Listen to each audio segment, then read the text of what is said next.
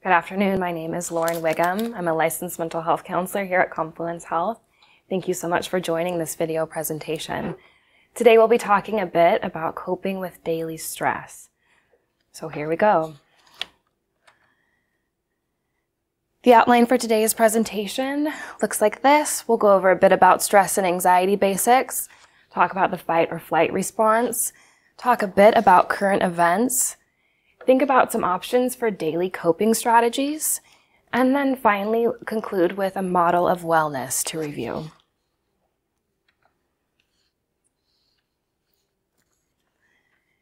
My focus for today's presentation is a quote by Viktor Frankl. Uh, he survived internment camps during World War II. I really appreciate this quote because it provides hope for thinking about the space between an event that provokes anxiety or stress and the opportunity to find space to then utilize a coping strategy. So the quote goes like this Between stimulus and response, there is space. In that space is our power to choose our response in our response lies our growth and our freedom. So today's presentation is all about finding the space. Some of you may be wondering, what is stress? I'm using the words stress and anxiety interchangeably. I think it's important to think and understand what's going on in our bodies when the stress response is occurring. So anxiety occurs when the body and the brain perceives threat, the perception of threat triggers the fight, flight, freeze response. This is triggered by something, a stimulus coming in through your senses, something you see, something you hear, something that you think that causes this reaction. So the fight, flight, freeze response is a tool that your body uses to protect you from perceived danger. So this fight, flight, freeze response can be kind of tricky because it can also be triggered by threats to emotional well-being. So anxiety and its feeling is characterized by feelings of apprehension, self-doubt, tension, as well as physiological symptoms. So individuals experiencing anxiety or stress might notice increased heart rate, sweating, breathlessness.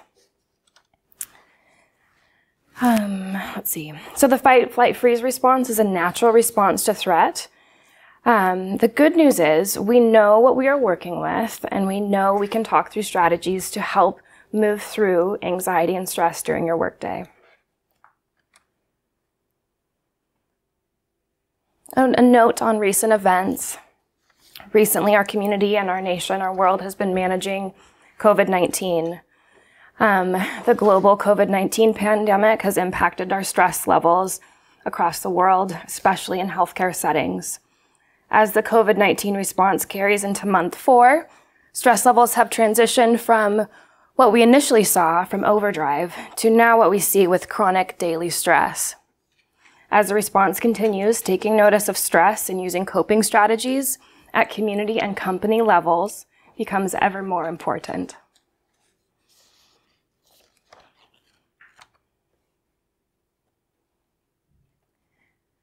Another note, news coverage also impacts our stress levels.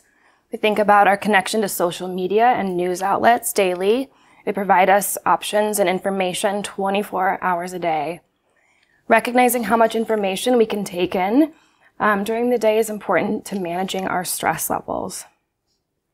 So our daily, daily work, excuse me, has shifted and changed during this time. But what hasn't changed is our unique capacity for resilience and growth. So back to that original Viktor Frankl quote.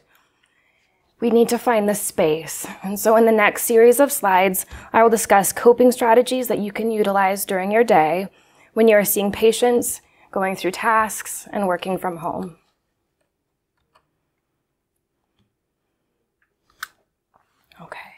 So here we are. We're working to find the space. So by recognizing anxiety when it is happening and invoking the relaxation response, stress can be reduced quickly. So a new phrase that I came up with over quarantine has been something called bang. So we think about be, breathe. We want to use diaphragmatic breaths to invoke that relaxation. Second, acknowledge. Think about the feeling. What's coming up for you? Is it stress? Is it feeling overwhelmed? Is it anxiety? Notice that feeling. Next step, Plan out what you're going to do. What's the coping strategy that you can use as you're going throughout your workday to calm and find the space?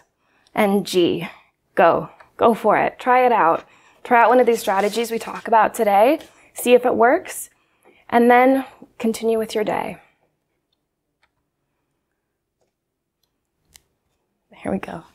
So here is diaphragmatic breathing in a nutshell.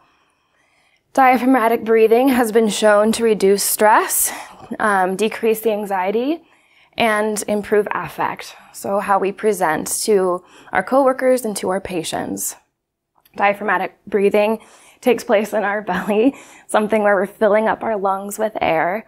So when we take a diaphragmatic breath, we're allowing the belly to relax and fill with air, like so. We go in for five, hold,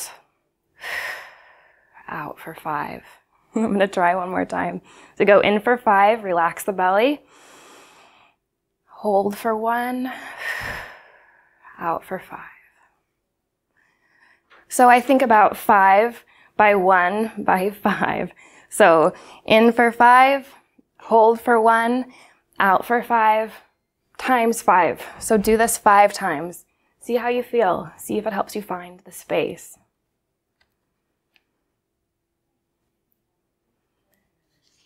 The next strategy that I offer is when in doubt, think about connecting with your senses.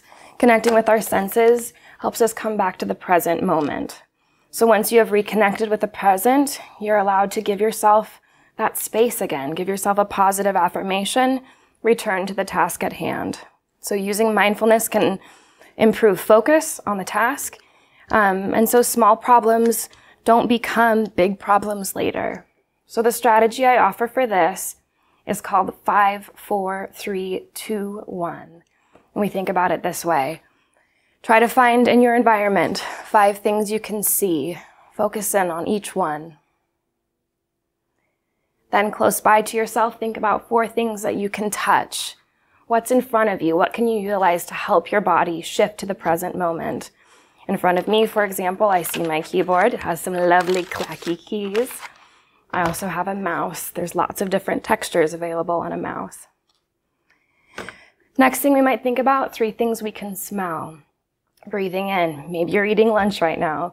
Maybe you're thinking about eating lunch right now. Maybe you have a cup of coffee in front of you. Engage with your sense of smell. Um, moving on to the last things, we think about two more things we can feel. Um, and then moving forward to one thing you can taste. So thinking about carrying gum or something else with you so that you can have that sense of taste during the day.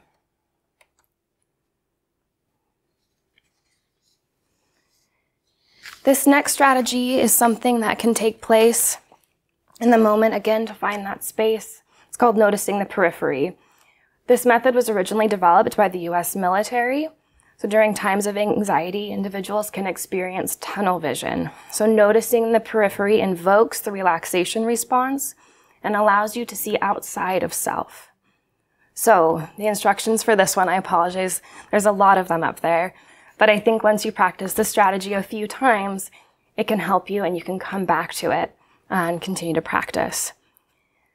So the strategy says find a spot at eye level that's located 5 to 10 feet in front of you. Focus your eyes for 5 seconds on that spot.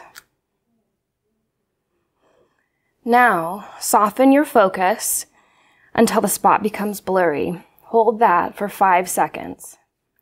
Still facing forward, shift your focus to your peripheral vision. Do this with both eyes simultaneously. Maintain the peripheral focus for 10 seconds. And then repeat steps one through five, five times. The number five is standing out today. Then notice the relaxation in your body. All right. Next strategy I'd like to introduce, and it's a tip for coping with daily stress, is thinking about passive muscle relaxation. Intentionally relaxing the muscles in our body invokes the parasympathetic nervous system response or our calm response. If it helps you to have prompts, there's tons of guided progressive relaxation exercises on YouTube. Also, many applications right now are available for free. Um, Headspace and Calm are two apps that individuals can utilize to find resources as well. So I'll do a quick practice of a passive muscle relaxation exercise. We'll just kind of think about your head and your shoulders today. This might be something you could utilize during your workday, before you're interacting with a coworker or a patient, when you're at your desk and you need a break. Really intentionally thinking about relaxing the muscles in your face, shoulders, arms, um, and continuing with your day. So this one goes like this. Start at the top of your head. Feel it from your crown, moving slowly down your scalp. Feel your ears relax. Feel your temples relax, then your brows. Feel your eyes relax, then your cheeks, then your nose, then your mouth, your lips, and your tongue. Feel your throat relax, then your neck. Feel your shoulders relax. Yes, even your shoulders. Allow them to relax. Focus on letting them drop and everything they've been holding for you, they get to rest too. Focus on your right hand. Let the calm flow from your right shoulder down your arm, through your wrists, then into each finger. Focus on your left hand. Let the calm flow from your left shoulder down your arm, through your wrists, then into each finger. And that passive muscle relaxation could be something that you continue throughout the rest of your body. So, thinking about relaxing your chest, your stomach, your legs, your feet, all the way down to the tips of your toes.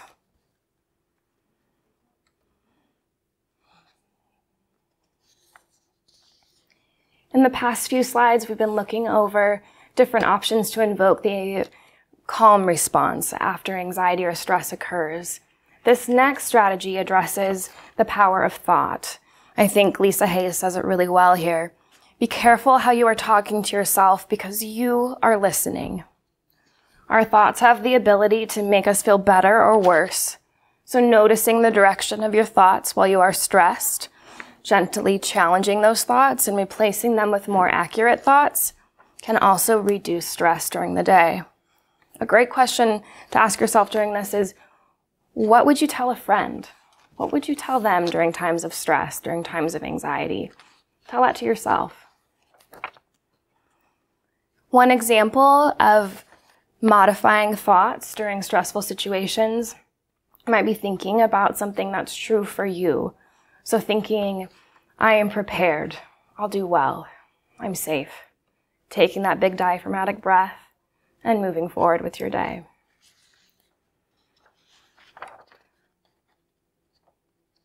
The next series of slides are tips to decrease stress during the day. So we've addressed both the physiological, the body response, as well as the power of thought.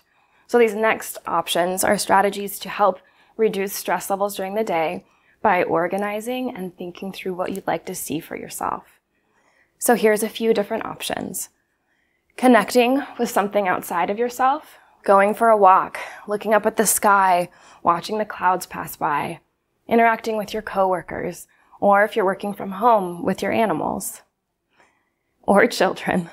Um, next one might be cleaning up your surroundings. It's easier to stay focused and attentive to the tasks at hand if your surroundings are clean. Finally, prioritize what absolutely needs to get done versus what should get done. And that ties into the points on these next slides. Thinking about Stop yourself from accidentally oh, multitasking. Focus on one task at hand and start small. Chunk up tasks and organize a to-do list by category. So yes, we might consider organizing a to-do list. And finally, accept what you cannot control. So in the course of a day, if you can't get to all of the tasks at hand, pause, give yourself that break, find the space, and allow yourself to come back to those tasks the next day.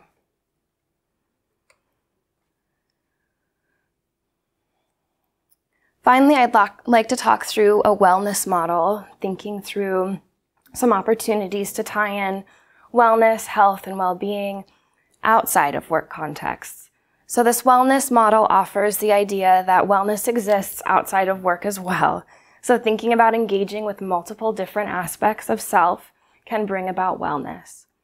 Thinking about addressing our creative selves, our coping self, the social interactions with others, thinking about our essential self, finding opportunities for self-care and interacting with others, and our physical self, so focusing in on exercise and nutrition, so that we are finding an opportunity to bring balance to all aspects of our health and well-being.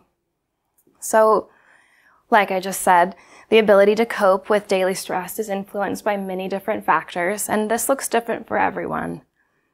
Thinking about using health and wellness practices outside of the workplace contributes to the ability to manage daily stressors. It contributes to that ability to find the space that Viktor Frankl offers. Um, this indivisible self model of wellness is just one way we might think about a wellness model. There's lots of other wellness models out there and available for you. So I leave you with a few thoughts. The thought on this screen says, change the way you look at things, and the things you look at change. And I think that ties in so well with the Viktor Frankl quote I mentioned earlier. If you find the space, take the pause between stimulus and response, use one of these strategies that we've talked through today, or your own, or a combination of the above, and think about ways that you can calm and manage your stressors during the day. Thank you so much for your time. I really appreciate being here today. Take good care.